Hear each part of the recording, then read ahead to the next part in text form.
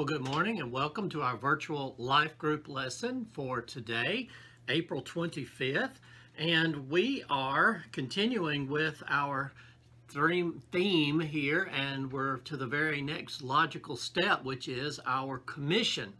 We are at the point where Jesus is about to ascend to heaven. You know, we've studied the death of Jesus, the resurrection of Jesus, uh, we've talked a lot about all of these things leading up to and in the weeks uh, right after Easter. And so we're at this point now where he is giving to his apostles and then to us his great commission, our commission. And so that is the title of our lesson today, and it is about telling others about Jesus. Our scripture is Matthew chapter 28, and we're going to be focusing on uh, just Matthew 28 verses 16 through 20. I will reference some other scriptures to back up some of the things that we discuss, but I want us to focus on Matthew chapter 28, 16 through 20. And so as you begin to uh, look at Matthew chapter 16, Matthew 28 verse 16, it says, Then the eleven disciples went to Galilee, to the mountain where Jesus had told them to go. When they saw him, they worshiped him, but some doubted. Now, I want us to unpack these two verses here because a lot of people um, assume that those who are doubting are uh, some of the 11 disciples. Let me give you a little bit of a rundown of the uh, chronology of all of the appearances of Jesus after his resurrection. Um, the Bible doesn't give us a very strict chronology. It doesn't tell us, now, he appeared this point at this time of this day and so on and so forth. You can piece it together. And so as you piece it together, you can come up with this. After his resurrection, on resurrection day, it begins his appearances. And so the very first one, according to scripture, is to Mary Magdalene. Second appearance appears to be to the women who were going to the tomb. Thirdly, to Peter. And then he appeared to two travelers, two uh, disciples who were on the road to Emmaus. And then we hear, we read, excuse me, that he appeared to all of the disciples except Thomas. Thomas was not there that day. And so the other disciples saw him and then they told Thomas about it. And Thomas, if you remember, was doubtful. Thomas said, unless I can actually see the scar, unless I can put my hands there and feel those prints, and uh, unless I can see it with my eyes, is what he was trying to say. I just can't quite believe it. So the next Sunday, Jesus walks through a locked door with the disciples there, including Thomas and he walks right up to Thomas and he basically says, Here, put your hand here, feel this in the scar, feel the wounds. And it was that point, if you remember, where Thomas declared, My Lord and my God, exclamation point. And so I have a hard time believing that at this point where we are in Matthew 28, that any of these apostles are still doubting because Thomas was the only one who had serious doubts. And after he saw Jesus resurrected in his glorified body, he had no doubts anymore. So the appearances continue, though, because he appeared uh, to seven beside the Sea of Galilee, if you remember that. They ate some fish. And then it uh, you get to Matthew 28, and chronologically, it looks like this would be his eighth appearance in Matthew 28.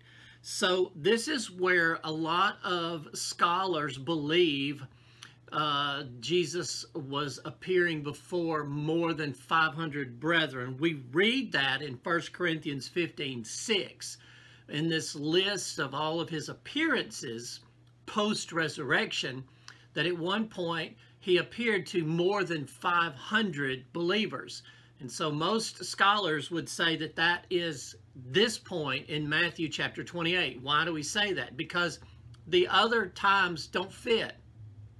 The other times preclude there being a crowd of that size. There were very specific appearances to specific people in small groups, in small rooms, and in small areas. There's no indication anywhere that there could have been a crowd. And yet, here we have him on a mountaintop with a lot of people around, apparently, okay? So after this appearance, which if that's the case, this would be the eighth appearance, there are at least two more because the scripture tells us that he then appears to his brother James, who, as you recall, James was not a believer before the resurrection, but he is a believer after uh, Jesus appears to him and he goes on and becomes the pastor of the early Jerusalem church. He wrote the book of James. Okay, and then you have the 10th appearance of Jesus at his ascension, where he actually went up into heaven. The apostles saw him. So logically, it is most likely that this eighth appearance that we're reading about in Matthew chapter 28 is probably the one where the more than 500 were there to witness it. Why do I say that? Because again, I do think it is very doubtful that at this point the disciples are still not sure that this is truly Jesus resurrected from the dead. Everybody who has encountered the resurrected Jesus has been, everybody who knew him well and encountered him has been thoroughly convinced. So if you have more than 500 who are believers who have shown up to worship, to see Jesus, is it possible that there are some in there who are still wavering? And if you look at the original Greek here, the Greek that is rendered doubted in my translation literally means wavered. What does it mean to waver? When you are absolutely certain this moment and then a few moments later, I don't know. I'm just not sure. Yeah, I know. No, I'm not. We waver. That is human nature. We do waver a lot. Are there people attending church today who still waver? Absolutely. There are a lot of people who attend church, but not with the absolute determination to worship. Now, I want you to stop and think about this because here you have the resurrected Jesus. He appears here on this mountain. The 11 disciples have been told to meet him there, so they are there. It would appear that there are 500 or more other people who have shown up. And the scripture says they worshiped him. What have we talked about? We've talked about the difference between praise and worship. Praise is speaking praise, singing praise. You, it's about what you say. It's about mostly verbal affirmation. But worship has the understanding and the meaning of prostrating oneself. To worship literally means to bow down. We sing, we read scripture that talks about worship and bow down. We don't always bow down in the sanctuary when we worship. Some of us have a difficult time physically doing that and getting back up again, okay? But you can spiritually bow down and worship even if your body does not allow you to. There is not uh, just the strict understanding that you have to physically be in a particular um, in a particular posture, but it does imply bowing, humbling oneself before God. That is what true worship is. So when I read this, I think about the fact that there's probably 500 plus people who are here. I think the disciples at this point are 100% on board, probably still in awe, in shock. They know he was dead. They know he was dead. He's not dead anymore. They've seen the scars. They know it's really him. They've talked to him. They know it is he, okay? I think they are convinced. But I think there are other people who have shown up for the worship service on the mountain who are still wavering. Maybe they didn't see him on the cross. Maybe they're not convinced that he really died and was buried. I don't know. But I do know because I've been in church for my entire life that there are people who go to church, who go to the worship service, and yet still waver in their worship. So there's nothing unusual about that. Now, I want you to um, look with me at verse 18 because then it says, Then Jesus came to them and said, All authority in heaven and on earth has been given to me. Now, when it says he came to them, I don't know if that means he just approached the entire crowd or if he's specifically talking to his disciples. I think it is probably aimed primarily at the apostles because they are the ones who are going to be the apostles, the early ministers, the pastors of the church. They're going to be the ones to get the whole ball rolling, if you will. And so it's very important. So what does he say to them? All authority in heaven and earth. Go with me, if you would. I want you to look with me at Daniel chapter 7. Go back to the Old Testament to Daniel chapter 7 because Daniel wrote many prophecies concerning the Messiah, the, uh, the church age, and the end of the church age. And so if you look with me in Daniel chapter 7, verses 13 and 14, in my vision at night I looked, and there before me was one like a son of man, coming with the clouds of heaven. He approached the Ancient of Days and was led into his presence. In other words, what he's seeing is a vision of Christ Jesus in heaven. He was given authority, glory, and sovereign power. All peoples, nations, and men of every language worshiped him. His dominion is an everlasting dominion that will not pass away, and his kingdom is one that will never be destroyed. So there you have, in the Old Testament, a prophecy given to Daniel about this coming time when Jesus would be uh, given this incredible and total authority over everything. Now, I want you to fast forward and go with me to Revelation chapter 5. Revelation chapter 5.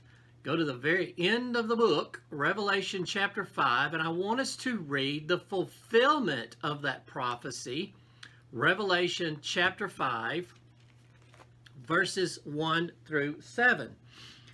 Then I saw in the right hand of him who sat on the throne a scroll with writing on both sides and sealed with seven seals. And I saw a mighty angel proclaiming in a loud voice, Who is worthy to break the seals and open the scroll? But no one in heaven or on earth or under the earth could open the scroll or even look inside it. I wept and wept because no one was found who was worthy to open the scroll or look inside. Now, stop and think for a moment. Who wrote the book of Revelation? Well, the Holy Spirit inspired John, the Apostle John, to write this. So this is an interesting thing because you have these bookends, if you will, where you have Daniel, who was given this prophecy of Jesus in heaven being given all this authority, okay? And then on the other bookend, you have John, the apostle, who has been given this vision of revelation, the things to come, where he sees Jesus in heaven fulfilling the prophecy of Daniel. And then right in the middle, you have John while he's alive in the presence of Jesus while he's walking on the earth in his resurrected form, fulfilling. It's just a fascinating thing when you think about it. So continue reading with me in Revelation 5. John writes, Then one of the elders said to me, Do not weep. See, the lion of the tribe of Judah, the root of David, has triumphed. He is able to open the scroll and its seven seals. Then I saw a lamb looking as if it had been slain. Yeah, he had been. Standing In the center of the throne, encircled by the four living creatures and the elders, he had seven horns and seven eyes, which are the seven spirits of God sent out into all the earth. He came and took the scroll from the right hand of him who sat on the throne. That is a beautiful, beautiful thing. So I want you to think about that. You have the prophecy of Daniel that Jesus Christ, this Son of Man, is going to be given all authority. It's all going to be handed over to him. In the book of Revelation, you see the finality of that, that yes, indeed, everything has been handed over to Jesus Christ. So in the middle of that, you have happening live and in person right now in Matthew 28, Jesus stands there and says, All authority in heaven and on earth has been given to me. So he is he is um, uh, he is ratifying, if you will, the prophecy of Daniel and what hasn't yet at that point been written about the things to come that are in Revelation. So I want you to understand when Jesus said, All authority has been given to me, he is speaking a royal decree, he is speaking a legal edict. He's basically telling this is the law. This is it. This is the gospel truth. I am the authority figure and there's scripture to back all of that up. Now, why does that matter? Because when we read that and we say, oh, all authority has been given to me, we tend to just skip over that and get on to what did he say. It's very important that you stop and understand. God Almighty has done something. I wrote down some other scripture, and I won't take the time for you to have to look these up, but I wrote them down because I wanted to read them to you. John 3 35 says, The Father loves the Son and has placed everything in his hands. John 5 22 says, Moreover, the Father judges no one, but has entrusted all judgment to the Son. John 17 2 says, For you granted him authority over all people, that he might give eternal life to all those you have given him. 1 Corinthians 15 27 says, For he has put everything under his feet. Ephesians 1 22 says, And God placed all things under his feet and appointed him to be head over everything for the church. Hebrews 1 2 says, But in these last days, he has spoken to us by his Son, whom he appointed heir of all things, and through whom he made the universe. Now, stop for just one moment. When he says these last days, what have we learned about that? It doesn't necessarily mean like the very last few days before the second coming, but the last days in general applies to the church age. We've had all of the years, all of the ages of human history leading from Adam all the way up to Jesus Christ. But from Jesus Christ until the tribulation and the second coming is the church age. And this is the last age. This is the last age of human history before God wraps it all up. And so, what is Hebrews saying there? In this age, in this church age, God has spoken to us through Jesus. God spoke to his people previously. He spoke to Adam directly. He spoke to Abraham directly. He spoke to Moses directly. He spoke to his Jewish people through the Old Testament, the Hebrew Bible. He's been speaking to the whole world through the Bible, through the scripture, through the prophets, through the whole thing.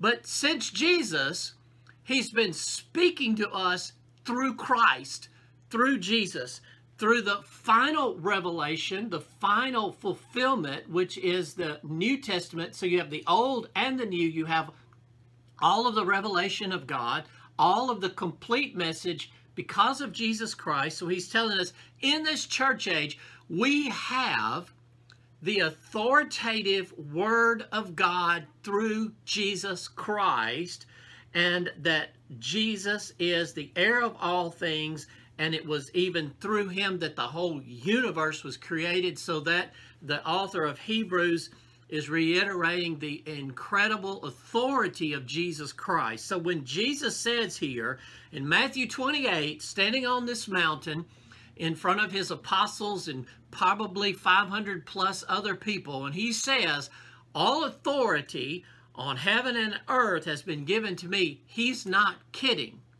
He's telling you everything that's going to happen from now to the end of human history is happening under my authority. I am in control.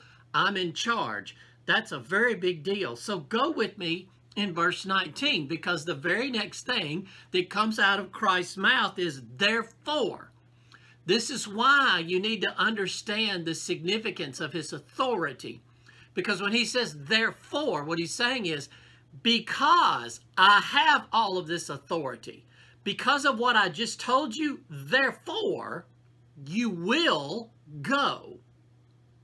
Uh, I liken it to when you're raising your children, or in my case, when you're uh, close enough to, to, to be a participant in helping raise your grandchildren, which is a tremendous blessing. You uh, sometimes hear yourself saying, you know, why? Because I'm the father, because I'm your parent, because I'm your dada, I'm your grandfather, because I said so. I am the authority here. Therefore, you're going to eat your lunch. Therefore, you're going to clean up your room. We use this kind of language all the time. When we read it here, we sometimes apply it almost watered down into like human terms because we kind of flaunt authority here on the earth. Jesus is not a flaunting authority. He's just letting them know, as I already said, everything that happens in this church age happens under my authority. Nothing happens that I don't approve. Therefore, here's what you're going to do. Do you understand? He says, therefore, this is what you're going to do. Therefore, go. Go where? He says, go and make disciples. Now, if you go back to the original language, you see that it's not actually, uh, when you render it into English, it has a little bit of a different twist on it. It kind of sounds like he's saying, okay, now you go, you leave here and go do this. But when you go to the original language, it's more of the, uh, the connotation that as you're going about your life, so I like that better because I think what Jesus was saying is you're going to go and live your life, okay? But as you're going and living your life, as you're going through life, guess what? You're going to be a disciple maker. As you're going through life, as you're working your job and tending your home and raising your family and doing all the things that you do, as you're going through life, you're going to make disciples.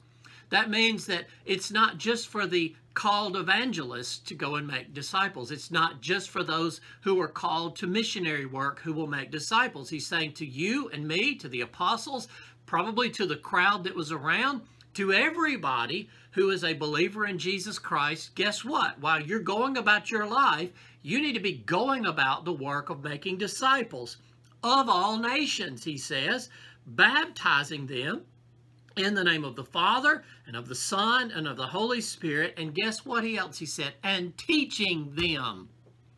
This is something that is very near and dear to my heart because I feel like in the modern church, I, I tend to think we may be in that age of apostasy where people don't really want good teaching. And that's why I said a lot of people show up to church on Sunday morning who are not really committed to actually worship I don't know why some people go, but some people go and, and I don't think they worship because it doesn't seem to have much effect on their life. It doesn't change how they are or who they are on Monday morning.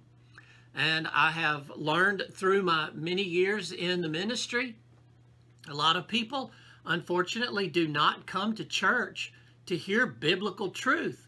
They've already made up their mind what they believe. They go to church to have somebody confirm it. And if the pastor or the preacher doesn't confirm what they believe, they'll go somewhere else and find somebody else. And they'll keep looking until they find somebody that will say what they want to hear. That's what the age of apostasy means. It doesn't mean people will quit going to church. It just means they will only go to the church that tells them what they agree with already. Because I'm telling you, when you really teach the Bible, when you really dig into what biblical Christianity is, it doesn't fit with a lot of Christians' uh, world system or their belief system. It can be quite challenging when you really study biblical Christianity. And this is why Jesus said, I don't want you to just go get people saved. I don't want you to just dunk them in the baptistry and say, good, now put them on the church roll. He says, I want you to go out and make disciples of them, which means you're going to teach them to obey everything I have commanded. How often do you hear that kind of talk in church circles? You will obey Jesus. But what did Jesus tell them? I have the authority. I'm the boss. I'm the boss of the universe right now. I'm the boss of this earth. I'm the boss in heaven. Nothing happens in this church age without my authority. Everything.